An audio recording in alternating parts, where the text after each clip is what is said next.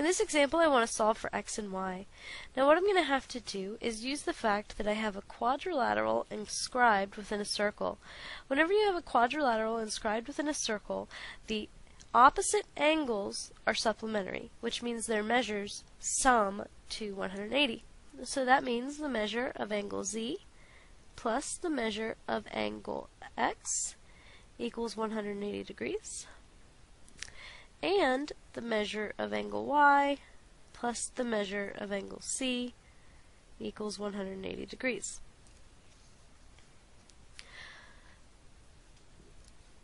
So what I'm going to do now is substitute in the values for these various measures. So the measure of angle z is represented by the expression 12y minus 2.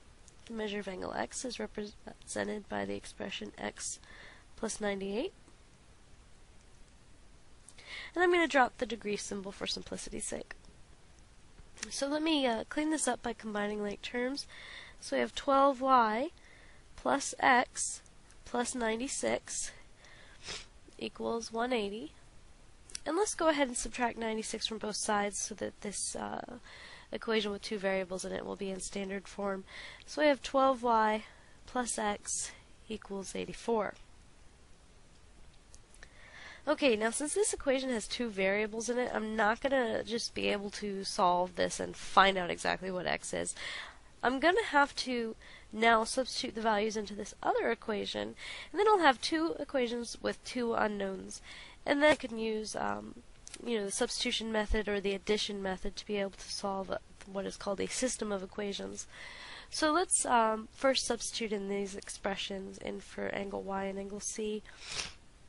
So 2x plus 62 plus negative 1 plus 17y, okay, equals 180.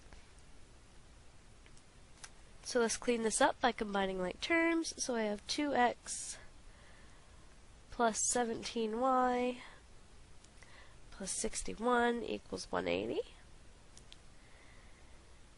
And I subtract 61 from both sides. Okay.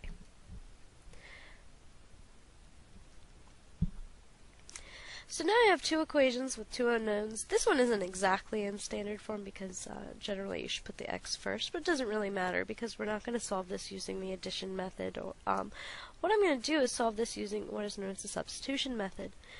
So because each of these have two variables in them, I can't just find what x or y would equal from just one of the equations. So if it had just one variable in it, then I can solve for that. So what I'm going to do is I'm going to take this equation here and solve it for x. The reason I'm choosing this one is because there is no coefficient in front of the x. Okay, since this one has no coefficient, it'd be really easy to solve this equation for x in terms of y. I just subtract 12y from both sides and I get 12y plus 84 is equal to x. So now what I have is an equation for x in terms of y. So that means wherever I see an x in this equation, I can just plug this value, um, or this expression in, and then I would only have one variable. I'd only have a y in this equation here. So I'm going to put this in for x. So I'll have 2 negative 12y plus 84 plus 17y equals 119. Okay, now let's just uh, solve for y. I'll first distribute the 2 to each of these terms here. So that's going to give me negative 24y plus 168 plus 17y equals 119.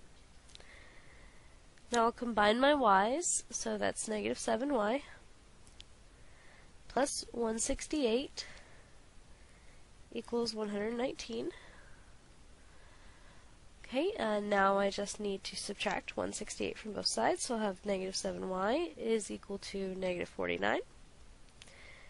And then divide both sides by negative 7, so that gives me y is equal to positive 7. So that's the first step. We wanted to find x and y. Well, this equation here told me that as soon as I figured out what y is, I would know what x is, because x is equal to negative 12 times whatever y happens to be plus 84. Well, now I know what y is, so I can just back substitute this in here. Okay, so x is equal to negative 12 times 7